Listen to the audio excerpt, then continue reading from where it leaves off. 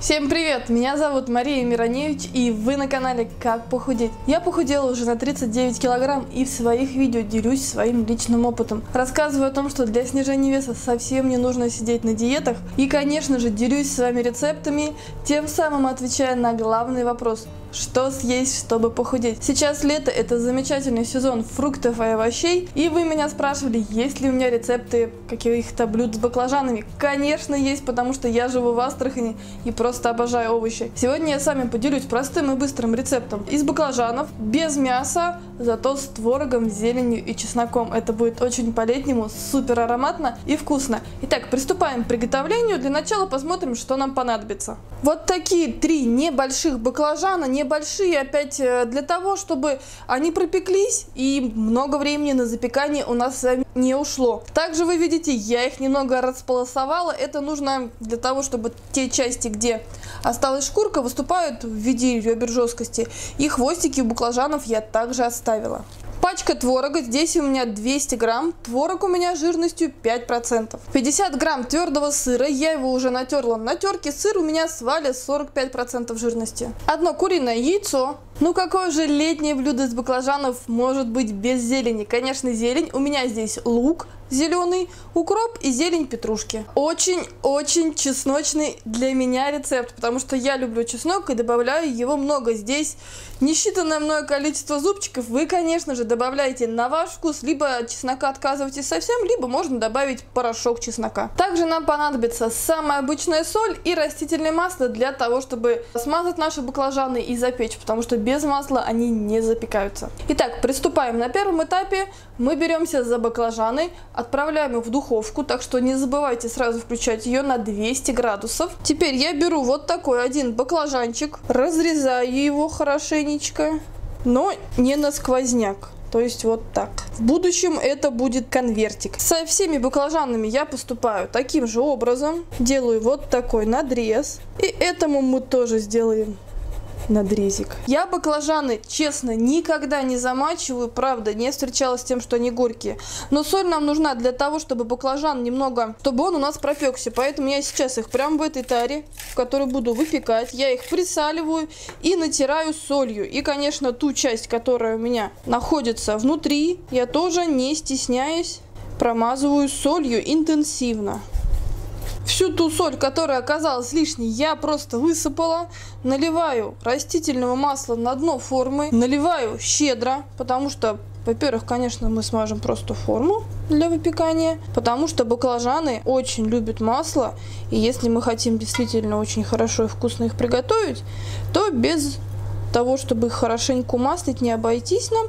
И, конечно, в наш разрез масла мы, конечно же, тоже добавляем обязательно. Также поступаем со следующим. Вот такие скраб-процедуры мы провели для баклажан. Сначала мы им сделали скраб и соли, теперь я их хорошенечко смазала растительным маслом и отправляю в духовку на 200 градусов. Ждем 20 минут, пока они подпекутся. Теперь, пока у нас есть 20 минут, мы подготовим начинку для наших баклажанов. Потому что, да, очень много рецептов с мясом, но мне сегодня лень с творогом быстрее и очень-очень вкусно. Благодаря чесноку очень ароматно. Давайте приготовим нашу начинку. У меня творог в брикете, поэтому я его просто буду разминать вилкой. Если ваш творог более зернистый, то вы можете пропустить его через блендер. Теперь я добавляю туда одно яйцо. Сейчас сразу же отправляю сыр. Сыр я тоже специально натерла на мелкой терке. Конечно же, мы добавим немного соли, перца по вкусу. Обязательно сейчас разотрем зелень и чеснок и добавим в нашу начинку. Для того, чтобы наша начинка была очень ароматной и вкусной, я не просто добавляю к творогу яйцам зелень, я, конечно, растираю ее с солью. Я делаю это так, возможно, кто-то пропустит через блендер. Мне, честно, больше нравится по старинке. Зелень я очень-очень интенсивно растерла до того, что она дала сок. Теперь я отправляю ее к нашей творожной начинке и следом прямо в эту мисочку отжимаю чесночок. Добавляем чеснок к смеси творога и зелени. Пока мы все это делаем, пошел уже аромат подпекающихся баклажанов. Значит, у нас будет замечательная баклажанная закуска. А я лично собираюсь использовать эти баклажаны как гарнир на ужин. Несмотря на такое количество чеснока, я еще и поперчу. Перчу я совсем немного, потому что с перцем у меня отношения не такие, как с чесноком, так сложилось. Теперь, конечно же, я нашу замечательную творожно-зелено-чесночную начинку перемешиваю и просто убираю в холодильник до готовности баклажанов.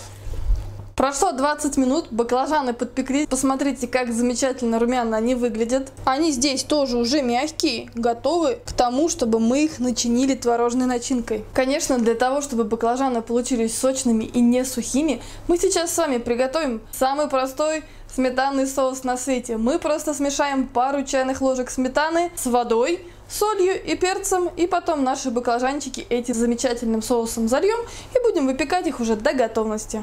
Вот такие щедрые ложечки. Раз и два. Две чайные ложки сметаны я развела в 200 миллилитрах самой обычной кипяченой воды.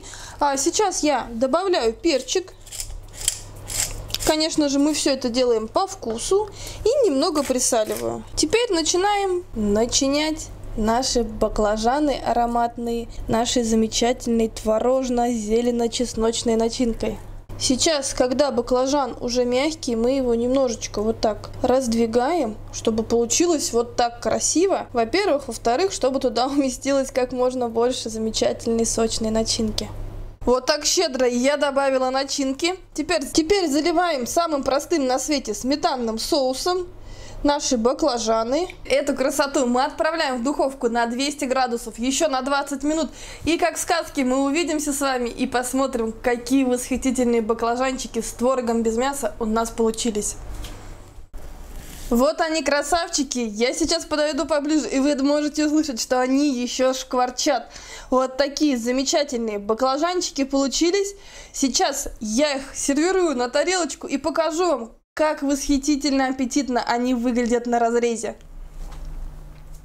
Вот такие румяные, аппетитные получились наши баклажанчики с творожной начинкой. Это то, что нужно. Баклажаны и творог дадут и сытость, и легкость, потому что не всегда хочется готовить с мясом. Поэтому я поделилась с вами и вот таким рецептом. Мы его очень любим. И летом, конечно, готовим очень часто, потому что это просто быстро и просто безумно вкусно. Поэтому, если вы не готовили еще ни разу баклажаны с творожной начинкой, обязательно это сделайте. Вы должны почувствовать почувствовать этот вкус. Сегодня я очень рада, что поделилась таким рецептом с вами. Как всегда, жду ваши отзывы, ваше мнение в комментариях. Всегда с удовольствием с вами общаюсь. И, конечно, вы знаете, как оценить нашу работу. Просто поставьте лайк. Нам будет очень приятно. Кто не подписался, подписывайтесь скорее на канал. Я вас приглашаю в наше классное позитивное сообщество. У нас здесь очень хорошо и, конечно, очень вкусно. С вами была Мария Мироневич. Я желаю всем добра, любви и, конечно, таких аппетитных баклажанов с творогом и зеленью.